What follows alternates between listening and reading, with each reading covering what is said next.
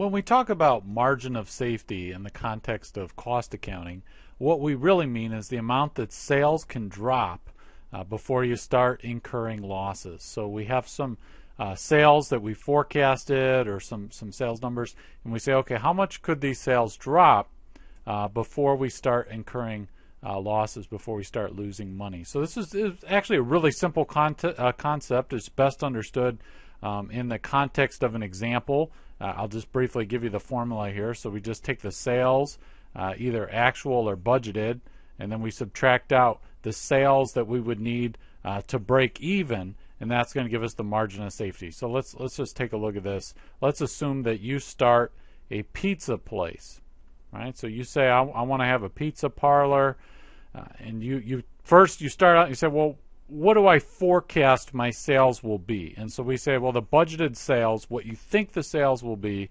uh, will be $250,000. That's what you expect for the year, uh, $250,000. And you, you've done some other calculations where you say, okay, for me to break even, uh, my break even sales would need to be $200,000.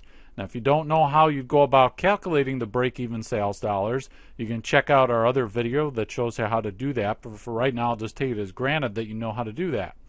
So basically, if you look here, we've got a difference between what we're expecting in sales and what we would actually need to break even, right? So we've we've got this spread of 50,000. And so that's what our margin of safety is. It's really that simple.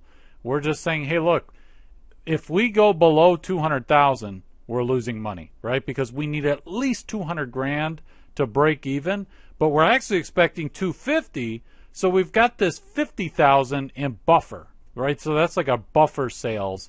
Uh, before you know, sales could drop by 50 grand before we'd really start having any serious problems. And we can actually also think about the margin of safety in terms of a percentage. We could say, okay, what percent could sales fall? Right, before we start incurring losses. And so to calculate the margin of safety percentage, you just take the margin of safety here, that 50,000, that buffer, right, that's in the numerator. We just take that and divide it by uh, the sales, it, whether it be actual sales or budgeted sales. Now, in this case, with our pizza place, we looked at budgeted sales, right? So we just take uh, this this 50,000 right here and divide it by the 250,000 budgeted the forecasted sales, right? So 50,000 here, let me just let me just write this out.